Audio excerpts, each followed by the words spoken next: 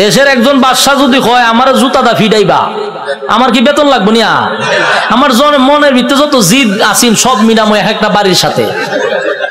ঠিক নেই জুতা দেখ একটা বাড়ি দিমার ঘুমায় আনে এটা অত সালের একটা জুতার বাড়ি। দ্বিতীয় বাড়ি দেখো এটা অত সালের একটা বাড়ি। এক সালে এক যন্ত্রণা বুক করছে আর তোর জুতাটা বাইরিতেছি। তেহারা হম নেই এই লোকও হয় যে, আমি বাসার জুতাটা বাইরামো আমার টাকার দরকার নাই। আমার চাকরিটা দেন। চাকরি দিছে, এখন পার্লামেন্টে বেসা বৈশা কথাবার্তা বলতেছে, যখন মশা কামড় আলী ইশারা দেয়, তাড়াতাড়ি দে। পাশে জুতাটা ঠাস করে পিছন দিয়ে বাড়ি মারে। দেশের মানুষ বিভিন্ন দেশ থেকে আসে, আইসা কয়, যেই বাসার ইজ্জত নাই মানছে তারা জুতা দা বাইরা এর সাথে আবার কি এর বৈঠক? যান এটা ভাগল এখান এক বেজ্জতি। তো জুতাদা বাইরিতে বাইরিতে প্রথম তো শখে শখে জুতাদা বাইরেছিল ঠিক না? জুতাদা যে বাইরেছে, প্রথম তো শখেই বাইরেছে, আনন্দে বাইরেছে। কিন্তু বাইরিতে বাইরিতে তখন তো বেচারার বিরক্ত হয়ে পড়ছে, আর কত বাইরিতে? খানা খাইতে পারে না, ঘুমাইতে পারে না, বাথরুমও যাইতে পারে না, খালি বাইরা। এই বেচারা হয়েছে বিরক্ত। এমন অবস্থা হয়েছে এখন জুতাদা বাইরে নিয়ে লাগে হতান পরে পরে। বাথরুমে গেছে, একটা বাথরুম করতে তে টাইম নাই না জুতাদা বাড়ি দেয় সে বিপদ পড়ছে না, খানা খাইতে পারে না। এই বেচারা কয় এর যদি আমি বউ জুতাদা বাইরিতে থাকি তা আমি এমনি মরে যাব গা। খাওয়ার নাই ঘুম নাই তো আমার মরণ হয় তে একবার এর মাইরি মরে যাই এখন হে কইলো সিদ্ধান্ত নিয়েছে না। এমন মরম এমন মরম। চাকরি না করলে আমার গরদান যাইব। আর আমি যদি চাকরি করতে তাই আমি এমনি মরে যাব গা। তে এক বালা হেরে মাইরা মরে যাই তখন একদিন জুতার বদলা বড় একটা মুগুর লইছে। আমরা এটা কিতা করি মুগুর করি মুগুর লইছে একটা। লইয়া পিছে বইয়া রয়েছে যখন হচ্ছে জুতা বাড়ি দে। তখন মুগুল লইয়া যৎকান শরীরে শক্তি আসিন একটা বাড়ি দিছে মাথার দুই ভাগ হয়ে যা ল্যাংরা মশা যে মাথার ধরেছেন ছায়া দেয় সাদ নাই। সাদ নাই মশায় চিন্তা করব যেরকম একটা নোংরা পরিবেশে আর বন যায়? মশা গেছে নুমরিদা শেষ নি কার সাথে পাল্লা লইছিল? আল্লাহ মারছে কেমনে? জুতা দা ফিডাইয়া মারছে। এই জন্য আল্লাহ সার দেয় সেরে দেয় না। বুসারে চিনুন না আপনারা? এখানে যারা বয়স তিরিশ আছে এরা বুসারে চিনব। W Bush. হে কিন্তু কম করছে না এইটা আমরা দেখছি। হে অনেক মুসলমানের রক্ত দিয়া গোসল করছে। হে কম করে নাই। শেষে আল্লাহ হেরও কিন্তু সাংবাদিকের জুতাদা ফিটাইছে। এক সাংবাদিকের জুতা দাবি মারছে। আর এই জুতার দাম অনেক হয়ে গেছে মিডিয়ন জাদুঘর আছে। আল্লাহর মায়ের আস্তে আস্তে। সার দেয় সেরে যারা জুলুম করতেছেন, যারা জুলুমের মধ্যে আছেন যাই না রাখেন, জুলুমের শেষ আছে। যারা জুলুম করে, তাদের দুইটা শাস্তি। একটা দুনিয়ায়, একটা পরকালে। দুনিয়ায় ততক্ষণ না পর্যন্ত আপনার মৃত্যু দিবে না, যতক্ষণ আপনাকে দুনিয়াতে আল্লাহ চরম পর্যায়ের বেজ্জতি না করবে।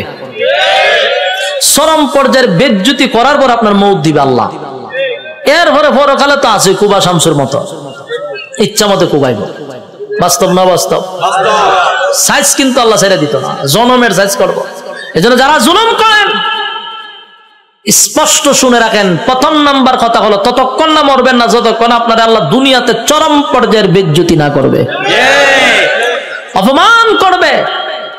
এরপরে মৃত্যু দিবার পরকালে তা আসবে ওয়াং সাং সুচি কি তাই ইজ্জতে আসেনি। জনমের দেওয়া দিতাছে এখন বন্দি করে রাখছে। পারমার মুসলমানের রক্ত খাইছিল না? তাই রক্ত চুষা খাইতেছে। আরও বেজ্জতি হইব। আরও দেখবেন সামনে। অপেক্ষায় থাকেন। বাকিটা দেখার বয়স আপনারা রয়েছে আল্লাহ দেখাইব। আল্লাহ বলেন সার দেই কিন্তু ছেড়ে দেই না। আমি যখন সার দেই, বুঝিস না, আমি তোরে সাইরা দিছি। ধরব, যেদিন আমি আল্লাহ ধরব, জনমের ধরা ধরব। পৃথিবীর কেউ তোরে রক্ষা করতে পারবে না। আমি আল্লাহর নিয়ামত খাইয়া, আমি আল্লাহর নাফরমানি কর সাইরা দিব না, কিন্তু জনমের ধরা ধরব। এ যুবক ভাই, আমি আপনাদের উদ্দেশ্যে বলতে চাই আল্লাহর দেওয়া নিয়ামত খাইয়া নিয়ামত খাওয়ার পরে যে আল্লাহর নাফরমানি করতেছি রাইতে দিনে চব্বিশ ঘণ্টা পাইয়াও একটা ঘণ্টা আল্লাহর দেই না। ইমাম সাহেব যদি বলে আসেন না একটু নামাজে যায় উত্তর দেয় হুজুর নামাজের সময় নাই। যদি কয় আসেন না মা ফিলে যাই আমার সময় নাই। বেচারা খুব ব্যস্ত। সময় নাই সময় নাই সময় নাই। যে কোনো বিষয় লোক আমার সময় নাই।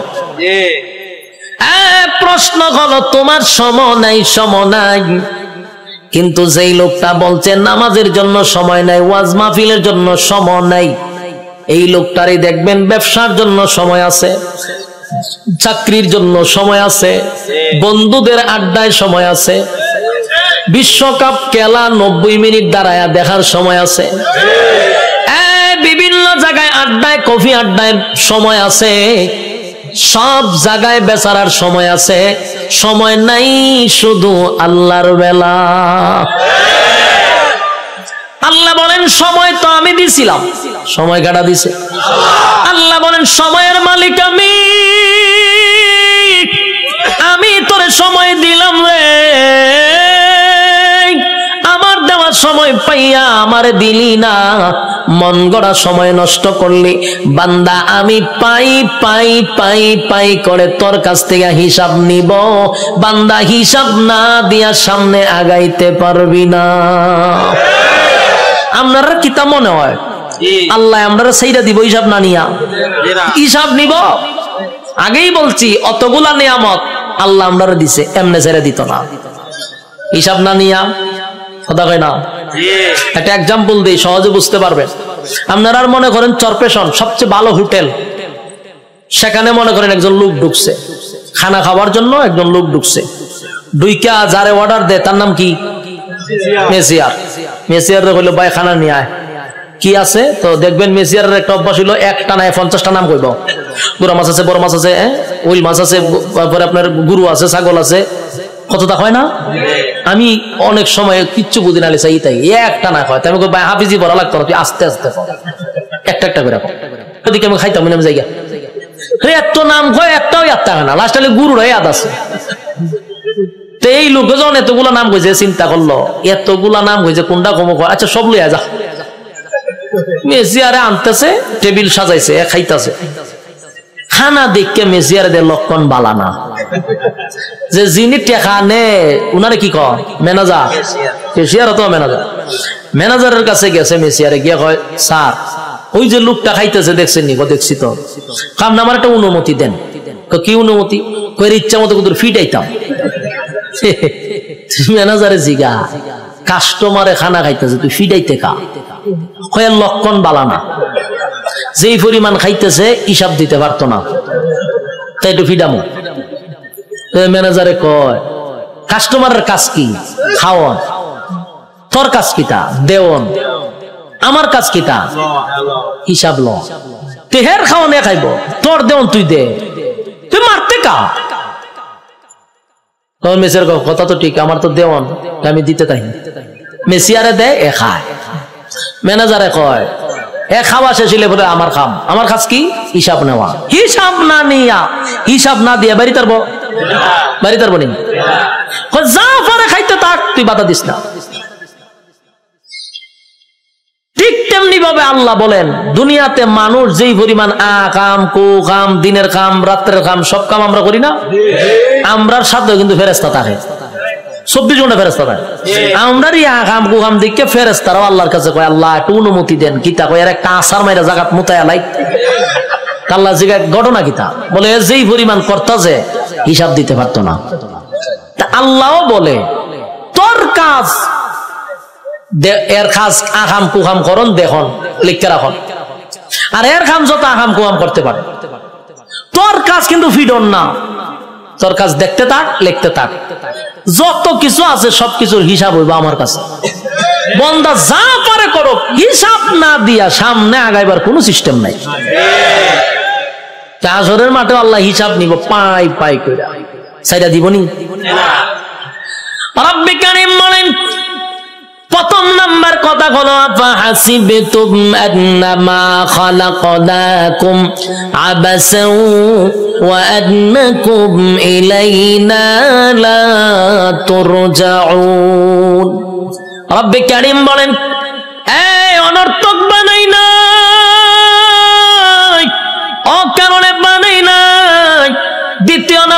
আল্লাহ বলেন, ওয়ামা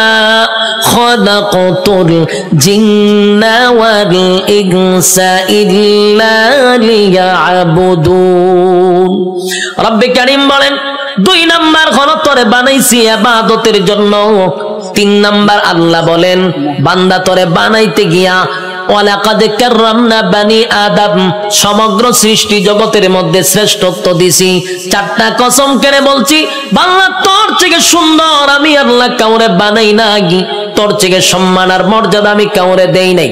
এরপর আল্লাহ বলেন, এত কিছু দেওয়ার পরেও যদি তুই আমি আল্লাহর গোলামি না করস, ওয়ালাকাদ জারানা জাহান্নামা কাসীরাম মিনাল জিন্নি ওয়াল ইনস, আমি আল্লাহ আগুন দিয়া তোরে জ্বালাবো আর পোড়াবো। এরপরে রব্বি কারীম বলেন, বান্দা শুন, ভালো করে শুন। এত নিয়ামত দিয়া তোরে ছেড়ে দিব না।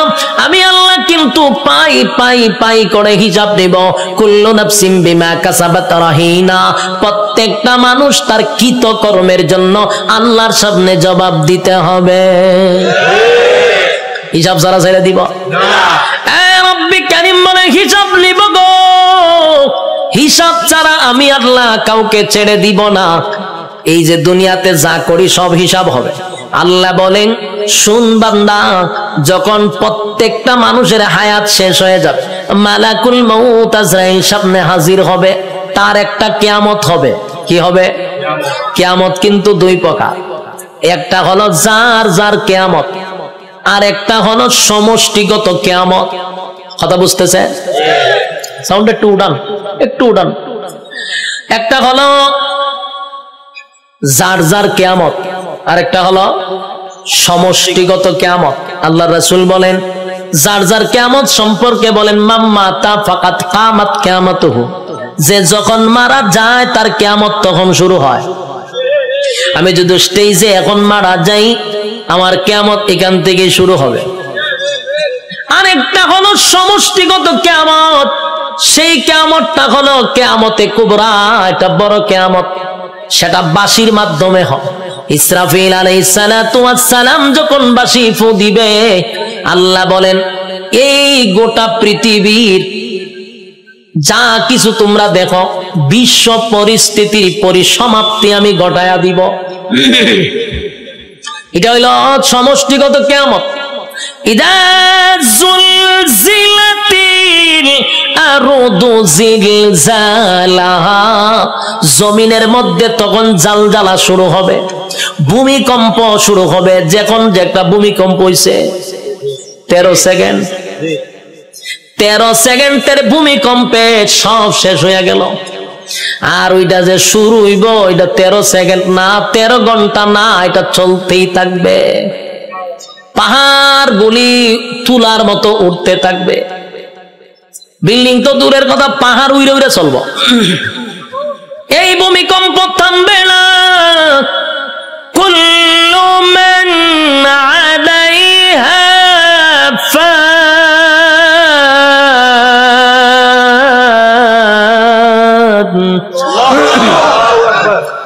ويبقى وجه ربك ذو الجلال والإكرام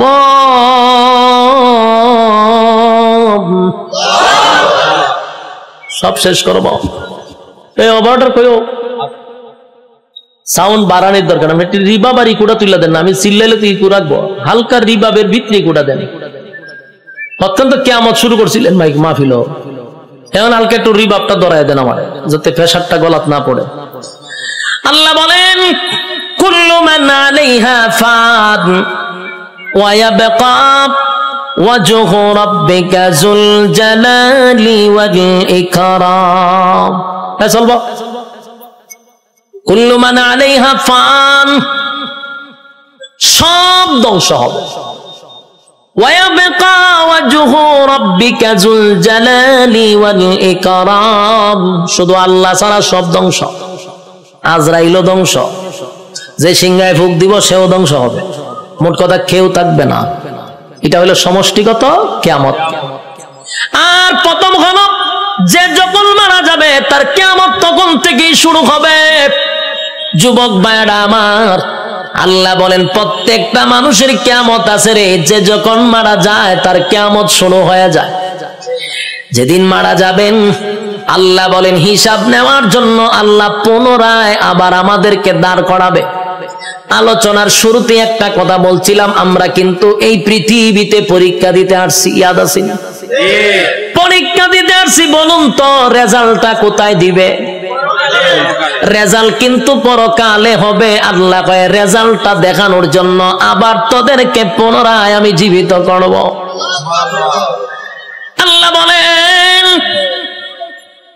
সিংহায় যখন ফুক দিব, সব ধ্বংস হয়ে যাবে রে।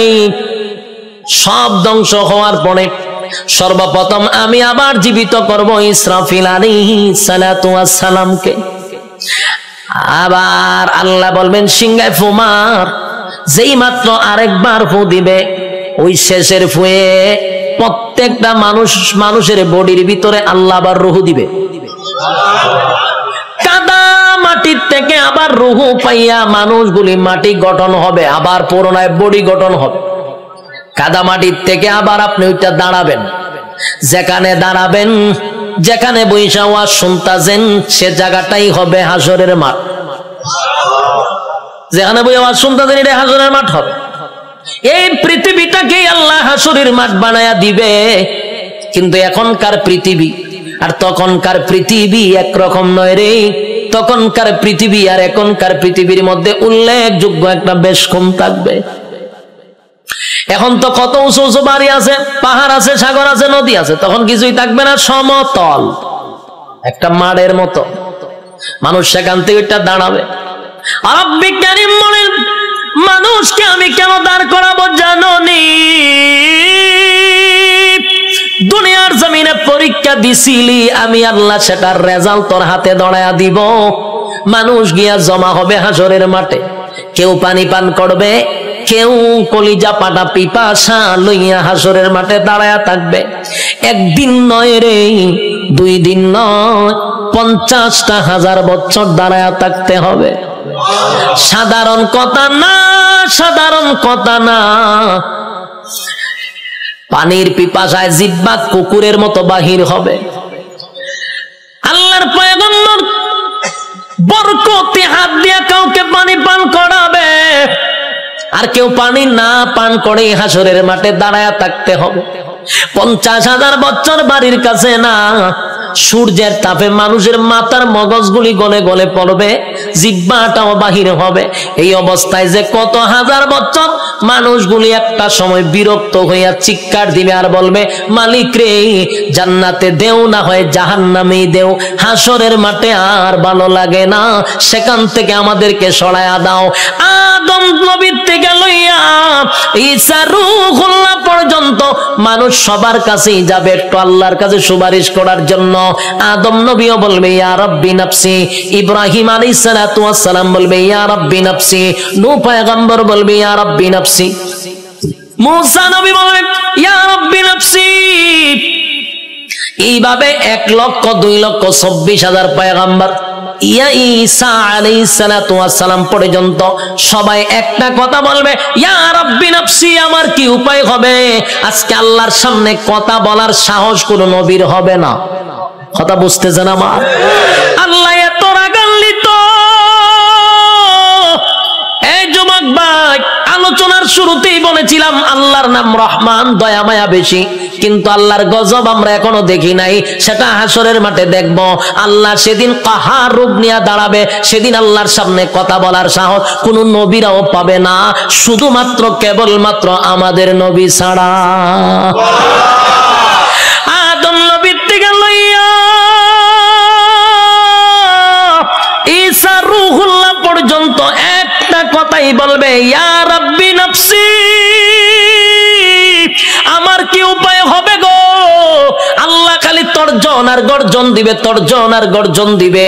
আর বলবে না ফরমানরা আমার নিয়ামত খাই আমার না ফরমানি করছস। আজকে দাঁড়া, কেউ কথা বলবে কিনা? আল্লাহ সেদিন বলবেন, লিমানিল মুলকুল ইয়াউম। এই পৃথিবীর রাজা বাদশারা দ্বারা হামাইন্নারে ডাক দিব, নমরুদ্দারে ডাক দিব। আল্লাহ সেদিন বড় বড় ক্ষমতাশীল রে ডাক দিবে, নমরুদ্দা দ্বারা ফেরাউন্না দ্বারা আল্লাহ বলবেন, সাজ্জাদ দ্বারা আল্লাহ এইভাবে আবু জাহেলকে ডাকবে, যত জালেম শাসক আছে, সবগুলাকে আল্লাহ সেদিন ডাক দিবে। ভারতের দাদারেও ডাক দিব ওয়াংশাংশচিরও ডাক দিব বুসারেও ডাক দিব, সবাইরে ডাক দিব, বেডাগিরি তো কম দেখাইছ না আজকে দেখা। কথা কন্যা দি? বেড়াগিরি যারা বাংলাদেশও করো, তারারও কিন্তু ডাক দিব। দাঁড় করাইব, দাঁড়া, বেড়াগিরি কম করছত না। দাঁড়া। নির্দোষ আলেমদেরকে সাইজ করছ দ্বারা আজকে দেখি তোর ক্ষমতা কতটুকু আছে। দ্বারা ক্ষমতা দেখকে লই আমি দাঁড়া। কেউ কথা বলবে না নিস্তুপ হয়ে যাবে। কথা বলার সাহস আছে নি কেউ? এখন এনে কত বেড়াগিরি। এখন বেড়াগিরি অভাব নাই। সেদিন কেউ কথা বলবে না কেউ কথা বলবে না। আল্লাহ তখন নিজেই কইব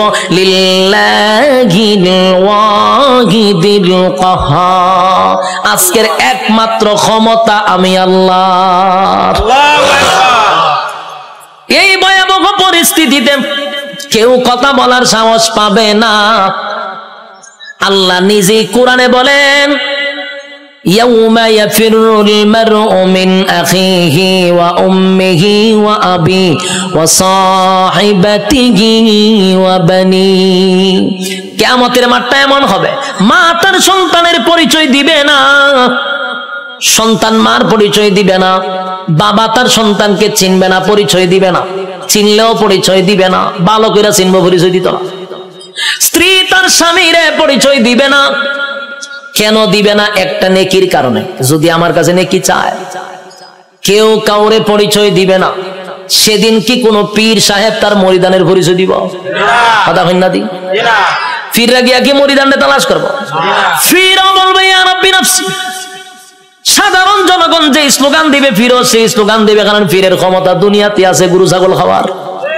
কিন্তু পরকালে এই ক্ষমতা নাই। পরকালে ফিডার সুডে দৌড়াইব খালি।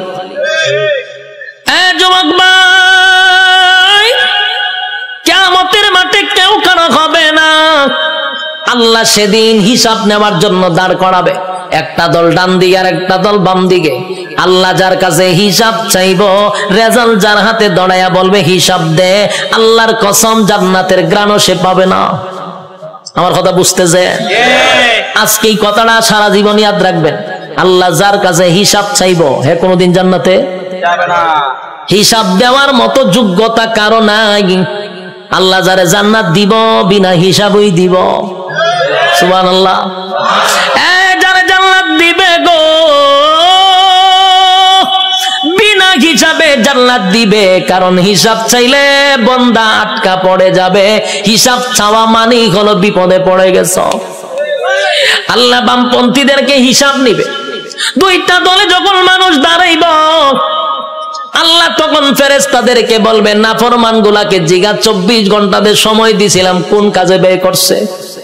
আমি যে যৌবন কাল দিছিলাম, কোন কাজে ব্যয় করছে হিসাব দিত হিসাবে আটকা পড়ে যাবে। আল্লাহ তখন ফেরেস্তাদেরকে বলবে, এটি নাফরমান, আমার দেওয়া নিয়ামত খাই, আমার নাফরমানি করছে। আজকে তারা হাতটারে লোহার মতো শক্ত করে দেয় বাম হাতটারে লোহা বানাবে, শক্ত হয়ে যাবে। আল্লাহ কয়টার ব্যাখ্যা কর ব্যাখ্যা করব। কয়টা বুক বরাবর ঢুকা। বুক ছিদ্র করে কলিজা ছিদ্র করে পিছন দিকে টেনে বাম হাতটা বাহির করবে। নাউজুবিল্লাহ বাম হাত বুক ছিদ্র করে পিছন দিকে বাহির করার পরে এবার হাত চলে গেল পিছনে মাথা কিন্তু সামনে। আল্লাহ এবার দিবা আমল নামা। ওই যে রেজাল্ট দুনিয়াতে যে পরীক্ষা নিছিল এই রেজাল্টটা হাতে দিবে। পেরেস তারা কইব আল্লাহ হাত পিছনে চেহারা সামনে। আল্লাহ কয় না ফরমানের চেহারাটা ভাঙ্গা মস্কাইয়া এরপরে পিছনে নিয়ে যা।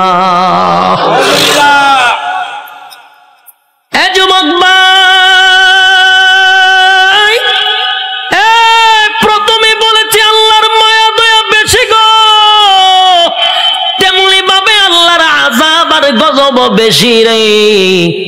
বাম হাতটা বুক বরাবর ঢোকাইয়া, পিছন দিকে বাহির করিয়া, গাটটা মস্কাইয়া, ভাঙ্গা পিছনের দিকে নিবে, মরবেন না কিন্তু। কারণ মরণ নাই গার ভাঙ্গা পিছন দিকে নিবে। নিয়ে আল্লাহ কইব, নে, রেজাল্টটা দেখ ক্লাসও বইয়া কি করছিলি? বন্দা একটু দেখ। বন্দা দেখবে আর বলবে, মালিক রে, আমার প্রতি তুমি বেইনসাফি করো নাই, ইনসাফের বিচারটাই করছ। কারণ সে দেখবে যা কিছু লেখা সব তার চোখের সামনে বাজবে। রাতের আধারে কি করছে? দিনের আলোতে কি করছে? সব লেখা আল্লাহ একটা বাড়ায়া লেখে নাই, একটা কমায়া লেখে নাই। দেখ বন্দা, সেদিন আল্লাহ বলবেন, এই নাফরমান আমার নাফরমানি করছে। এবার তাই মিজানের ভাল্লার যাইব এখানে আমল নামা হালকা হয়ে যাবে। এরপরে যাবে ফুলসিরাতের কিনারায়। সেখানে যাওয়ার পরে দেখবে জাহান নামটা তার জন্য উৎপেতে বসা। এই আমার কথা নয় গো।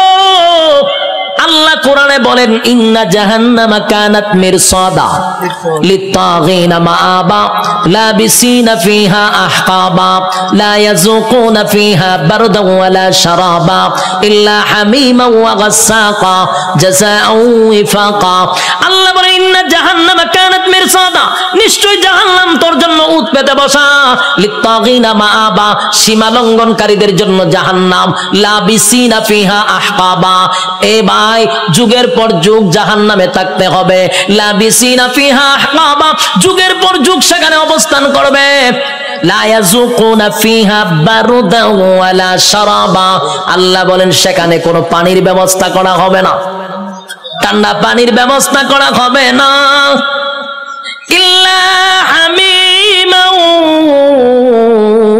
গাসসাকা তবে চিৎকার যখন পানির জন্য মানুষ করবে তখন আল্লাহ একটা পানি দিবে। এই পানিটা হবে তোর শরীরের রক্ত তোর শরীরের পোষ বিষাক্ত পানিটা পান করার জন্য দিবে। পানি গরম টকবক পানিটা পান করার পরে জাহান নামীদের নারী বুড়ি সব বাহির হয়ে যাবে পায়খানার রাস্তায়। চিৎকার দিয়া বলবে মালিক এমন পানি তো তোমার কাছে চাই নাই গো। এমন পানি তো তোমার কাছে চাই নাই, তোমার কাছে চাই নাই। এটা কেমন পানি দিলাম বেদনা, বিষাক্ত বেড়ে গেল। আল্লাহ তখন যে জবাবটা দিব, এর থেকে আরও ভয়ানক জবাব, আল্লাহ কয়ে ওয়াফাকা। বান্দারে, এটা তোর কৃত কর্মের পূর্ণ ফল। এতক্ষণ ভাই যে শারীরিক কষ্ট এই কথাটার কারণে মানসিক কষ্ট বেড়ে যাবে। আল্লাহ এখন মজা বুঝ কেমন লাগে? আমার দেওয়া নেয়ামত খাইয়া আমার না ফরমানি করছ, আজকে মজা বুঝ। আমি তোরে পানি দিছিলাম দুনিয়াতে, ঠান্ডা পানি, মিষ্টি পানি। গরমের সময় টিউবওয়েলের পানিটা তোর জন্য ঠান্ডা করে দিছিলাম।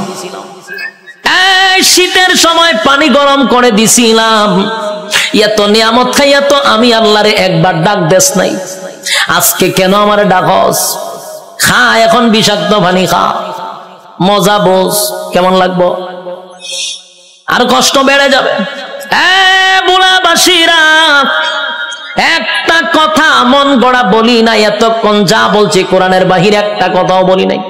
কোন গল্প বলার জন্য আমারে আনেন নাই, আর আমিও কোনো মাহফিলে গল্প বলিও না। যতক্ষণ বসছেন কোরআনের বাহিরে কোনো কথা শোনেন নাই। শেষ কিছু সময় আমি আর সময় লম্বা করব না। কিছু সময় আপনারা আমার দেন, আমি ফিনিশিংটা দিয়া দিই। এবার আর শোন, বিরক্ত হইতেছেন? হ্যাঁ বিরক্ত আমার ডাবল সুবিধা। আমার মাথায় ব্যথা করতেছে, তারপর আপনাদের আগ্রহ দেখে ওয়াজ করতেছি। খারাপ লাগতেছে? বিরক্ত হইতেছে কথাগুলি দিলের কেন লাগায় শুনেন, রব্বে কারিম কিন্তু হিসাব নেওয়ার জন্য আবারও দাঁড় করাবে, হিসাব নিবে জাহান নামে আপনার স্থান হবে। আল্লাহ হয়, আমি তোর নিয়ামত দিছিলাম আমার এবাদত করার জন্য, গোলামি করলি শয়তানের, আমি আল্লাহর গোলামি করলি না। এখন মজা বুঝ দিত না কিন্তু আল্লাহ। এখন আসুন, একটা দল জাহান নামে চলে গেল। আর একটা হলো ইল্লা আসহাবাল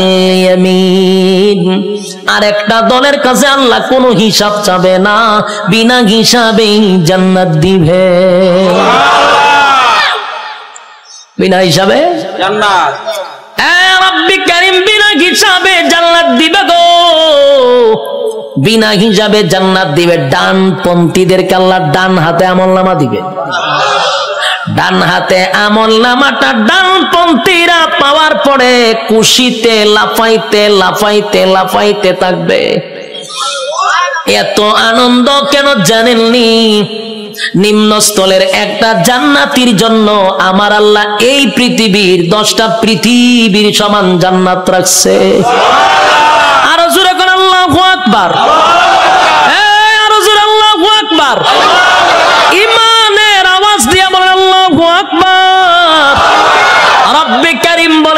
শুন এই পৃথিবীর দশটা পৃথিবীর সমান্তরে জান্নাত দিব নিম্নস্থলের জান্নাতিরে দশটা পৃথিবীর সমান রাজত্ব দিব। ডান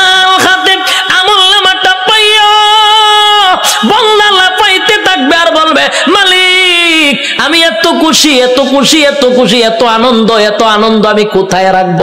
লাফাইতে থাকবে। আল্লাহ কয়, দাঁড়া লাফাস কেড়ে। আল্লাহ, আমি এত বড় নিয়ামত পাইছি, কোথায় রাখব গো? আমি আনন্দ কোথায় রাখব? দুনিয়ার মানুষ দশ কেজির একটা কাপ বিশ্বকাপ পাইয়া সারাটা দেশ আনন্দে লাফানো শুরু করে। আর আল্লাহ কয়, গোটা পৃথিবীর দশ পৃথিবীর সমান এক একটা রাজত্ব দিব। খুশি কম না বেশি?